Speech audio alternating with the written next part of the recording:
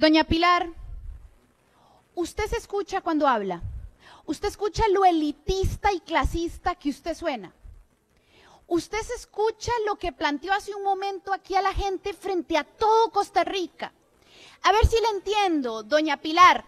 Si una persona de mi edad o de la suya no viven en un condominio de lujo como ustedes porque son unos fracasados y unos vagabundos, usted se da cuenta de que a usted la votaron miles de costarricenses humildes, humildes, que no les alcanza la plata para vivir porque este es un país caro, no hay empleo decente y los precios son impagables para la vivienda, la comida, el transporte, el agua, la luz. A esos que no les alcanza la plata son fracasados y vagos. Doña Pilar, es tanto el menosprecio que usted siente por este pueblo.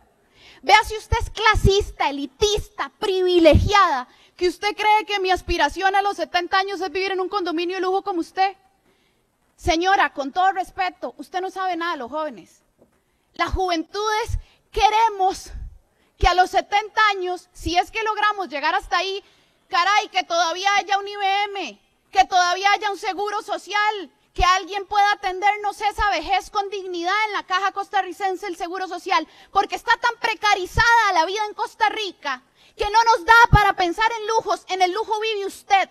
Y mientras usted vive en el lujo, en el privilegio de haberse hecho rica a partir de trabajarle a la prensa canalla y hacer editoriales durante años, mientras usted vive ahí, viene aquí a decirle a las juventudes que lleven palo y se aguanten jornadas de 12 horas sin pago de horas extra y viene aquí a recortarle becas a las juventudes y a la niñez de este país. Eso es usted, una clasista, una elitista, señora.